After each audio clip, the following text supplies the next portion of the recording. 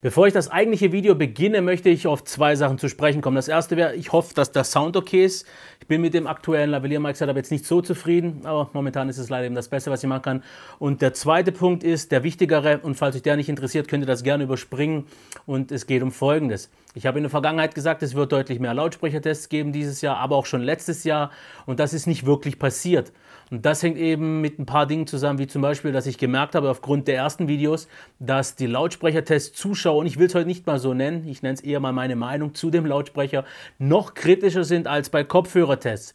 Denn ich biete keinerlei Frequenzmessungen, auch keine Sounddemos. Und ich weiß natürlich, dass der Raum einen riesen Einfluss auf den Klang hat und der ist hier alles andere als ideal. Deswegen macht das natürlich das Einschätzen noch subjektiver, als so ein Lautsprechertest schon sowieso ist. Aber ich denke mal, heute geht das noch halbwegs in Ordnung, da ich hier ich würde es eigentlich gerne noch Einsteigerklasse nennen oder sagen wir mal gehobene Einsteigerklasse bei 500 Euro fürs Paar.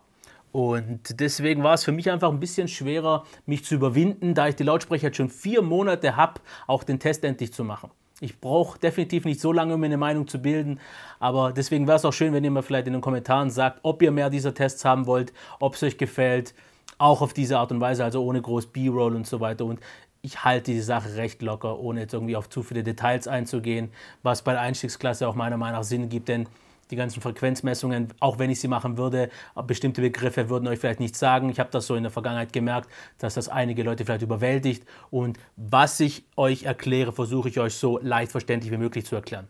Aber ich würde sagen, wir kommen jetzt endlich mal zum Test der Teufel Ultima 40 MK3 2018. Das ist das aktuelle Modell. Ich habe es in, äh, in, etwa schon seit es released wurde. Wie schon gesagt, kosten diese knapp 500 Euro in der passiven Variante.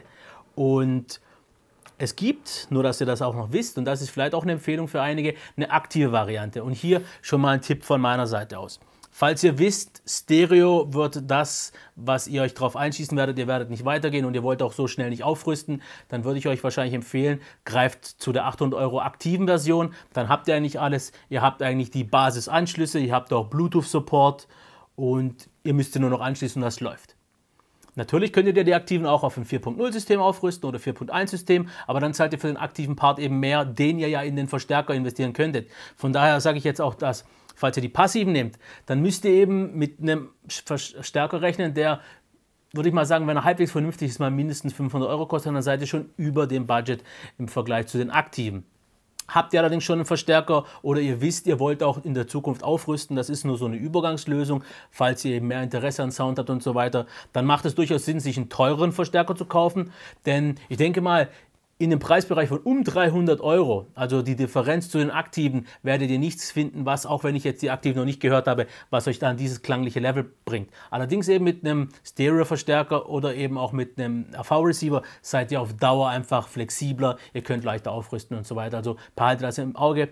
Wenn nur Stereo, würde ich wahrscheinlich zur aktiven Variante greifen. Anschlüsse sollten genug sein und so weiter. Wenn ihr allerdings mehr vorhabt, dann eben, wie hier schon zu sehen, die passiven. Und ich würde sagen, wir kommen jetzt kurz mal zum Design der Verarbeitung und so weiter. Und hier möchte ich kurz erwähnen, dass ich, als ich sie das erste Mal aus der Box nahm, muss ich sogar sagen, beeindruckt war eben für die Verarbeitung und das Design für den Preis. Denn für 500 Euro bekommt ihr eine wirklich sehr, sehr schöne, gute Verarbeitung, auch gute Materialien. Und natürlich, schaut man sich das jetzt genau an, dann ist das in etwa die Verarbeitung, die man bei vielen Möbeln bekommt. Also es ist jetzt nicht die beste Lackierung, es ist jetzt nicht das hochwertigste Material, aber für den Preis macht das einen sehr, sehr guten Eindruck, denn ihr müsst einfach überlegen, ich muss sagen, für den Preis habe ich deutlich hässlichere gesehen oder eben nicht so gut verarbeitete. Denn nur mal als, kurze, als kurzen Vergleich, die weißen an der Seite kosten in etwa das gleiche, sind nur ein Zwei-Wege-System anstatt hier ein Drei-Wege-System.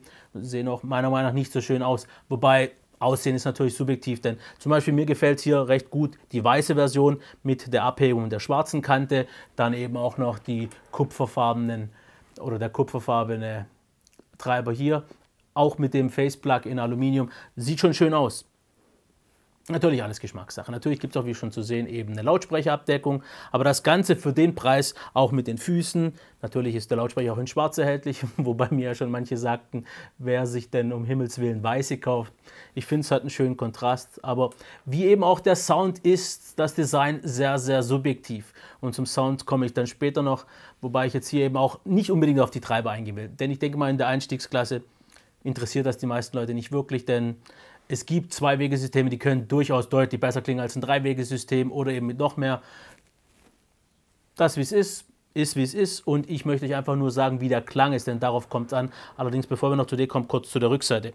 Wir haben hier ein B-Amping-fähiges Terminal, wobei ich auch hier sagen muss, in dieser Preisklasse macht B-Amping für mich nicht so viel Sinn. Und für alle, die nicht wissen, was B-Amping ist, es bietet eben die Möglichkeit, die Bässe und dann eben separat zu trennen von den Mitten und Höhen damit ihr da eben mehr Kontrolle habt dabei und so weiter. Und ich muss sagen, bei meinen Selbstbaulautsprechern habe ich die Möglichkeit, denn natürlich muss die Frequenzweiche so abgestimmt sein und ich benutze auch echten B-Amping-Betrieb, was hier wahrscheinlich nicht wirklich der Fall ist, denn ich denke mal nicht, dass das wirklich aufgesplittet ist, aber Gerade auch in dieser Preisklasse Stereoverstärker bieten das meist sowieso nicht. Die AV-Receiver bieten es zwar mittlerweile, aber das hat nicht wirklich einen Vorteil und B-Amping ist immer noch so eine kontroverse Sache. Manche meinen, es bringt viel. Ich persönlich muss selbst sagen, obwohl ich es schon jahrelang nutze, dass es für mich eher so einen Placebo-Effekt hat. Von daher können wir das außen vor lassen. Wobei ich sage halt mal auch, ich denke mal, es kostet nicht viel mehr, das einzugliedern und es vermarktet sich dadurch vielleicht ein bisschen leichter. Also von daher, wieso nicht? Ansonsten haben wir noch zwei Bassreflexrohre. Bassreflexsystem, denke ich mal, sollte ich jetzt nicht erklären, das würde das Video ein bisschen von der Zeit sprengen. Sage ich nur folgendes, wenn ihr sie zu nah an der Wand habt und eventuell eben keinen optimalen Raum, könnte der Bass dadurch ein bisschen brummender werden, ein bisschen eben dröhnender, dann könnt ihr die Löcher verschließen.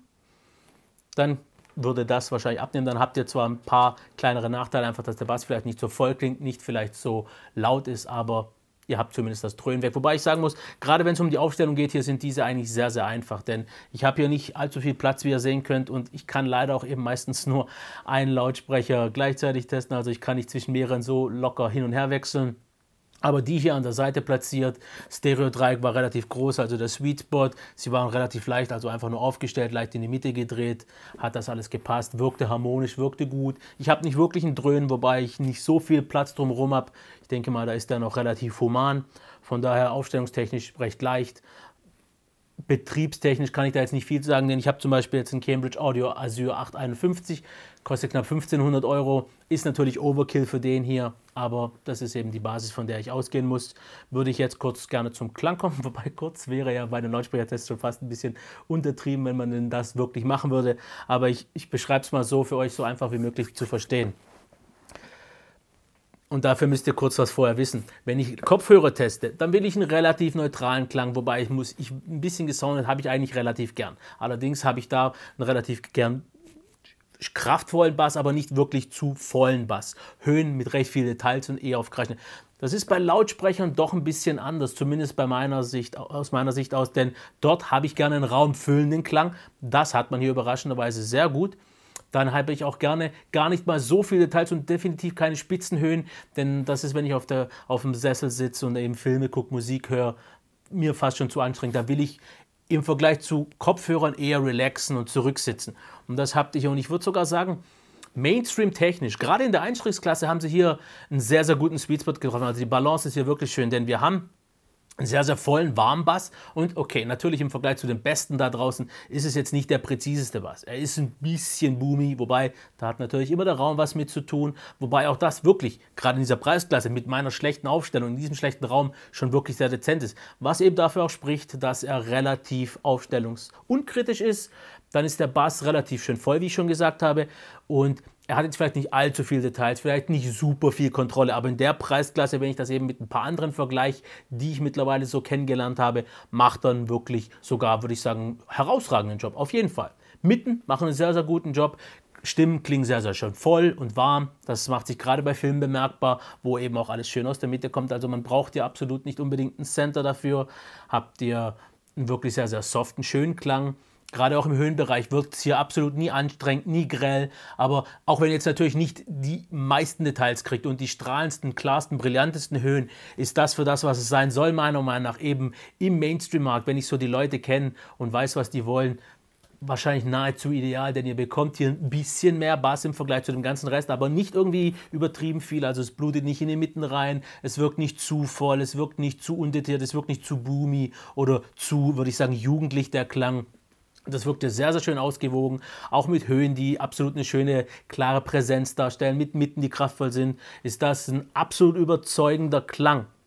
Natürlich gibt es Luft nach oben, das ist ja auch zu erwarten, ist natürlich auch immer Lautstärke, äh, Verstärker abhängig und so weiter, aber auch wenn ich jetzt vielleicht in der Vergangenheit nicht so viele Vergleiche hatte, einfach in kurzer Zeit, da ich zwar schon sehr, sehr viele Lautsprecher getestet, also nicht getestet, aber genutzt habe in der Vergangenheit, allerdings ist das schon lange her. Das waren meistens auch welche in einer deutlich höheren Preisklasse. Aber wenn ich jetzt zum Beispiel die hier an der Seite nehme, die in etwa das gleiche kosten, die klingen anders, nicht ganz so Mainstream ausbalanciert, haben zwar in bestimmten Bereichen Vorteile, in bestimmten vielleicht Nachteile, ein kurzes ein Test dazu wird es natürlich auch noch geben. Jetzt will ich noch nicht irgendwas vorwegnehmen.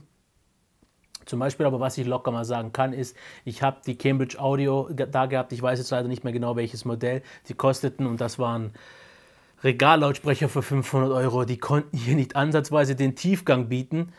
Nicht ansatzweise die Details in den Mitten und auch die Brillanz in den Höhen. Also das machen die hier schon deutlich besser. Und gerade fällt mir noch ein, zum Bass habe ich noch nicht so viel gesagt.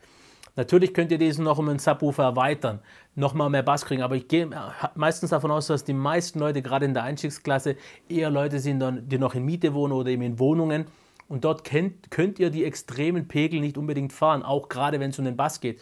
Und da muss ich sagen, spielt dieser problemlos tief genug runter, dass das für Filme, selbst Actionfilme und so weiter, mehr als ausreichend ist. Also ich muss sagen, der hat mir bei Filmen fast mehr Spaß gemacht wie bei Musik, denn es war ein raumfüllendes, spektakuläres, imposantes Erlebnis, gerade nach unten hin. Ich persönlich brauche nicht mehr unbedingt, vielleicht liegt es am Alter, diesen extremen Bass. Ich bin auch bei meinem Heim, ähm, Heimkinosystem weggekommen von dem, wobei meine Lautsprecher sowieso schon fast die Leistung eines Subwoofers erreichen. Aber auch hier habe ich im Bass nie was bereicht. Natürlich spielt er recht druckvoll und stark, aber eben nicht so weit runter wie ein Subwoofer. Aber für die meisten Leute mehr als ausreichend. Ich kenne Leute, die deutlich Bassschwächere haben und schon sagen, das ist ihnen zu viel. Also natürlich wollt ihr deutlich mehr ausreizen, wollt ihr ein richtiges Heimkinosystem, erweitert ihn um einen, um einen Subwoofer oder eben kauft euch noch basslastigere Lautsprecher. Aber ich denke mal, das ist nicht nötig und das ist eben, muss ich sagen, auch so für 500 Euro schon ein wirklich guter Einstieg. Denn sehen wir mal grob ein Budget von ungefähr 1000 Euro an. Dann seid ihr hier eigentlich schon absolut dabei. Ihr zahlt 500 Euro für die Lautsprecher, für einen guten Stereoverstärker wahrscheinlich nochmal so um die 500 Euro und dann habt ihr schon ein komplettes Paket. Allerdings, wenn ihr wisst, ihr wollt nur Stereo, könnt ihr eben auch zu den aktiven greifen, seid mit 800 schon voll dabei. Ich denke mal, das ist absolut noch im vertretbaren Rahmen und da mögen jetzt vielleicht einige sagen, ja, aber warum knapp 1000 Euro zahlen für nur ein Stereosystem?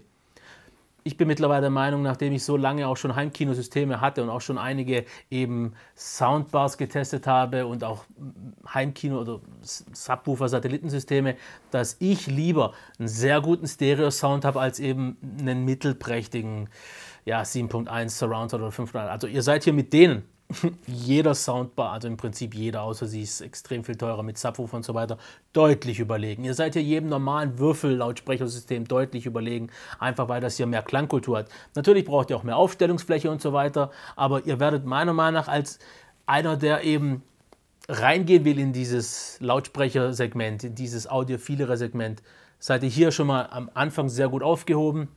Und für einige Leute, ich könnte mir das problemlos vorstellen, könnte das schon absolut so das Endgame sein. Für Leute, die eben vom normalen Klang ausgehen, sagen sich, ich will einfach was deutlich Besseres, als ich sonst mit dem Fernseher habe, bei einer Soundbar oder so weiter. Und ich kann es sowieso nicht voll ausreizen, weil ich entweder nicht wirklich den Hang dazu habe, das auch zu hören, oder eben auch den einfach durch die Wohnung bedingt nicht ausnutzen kann.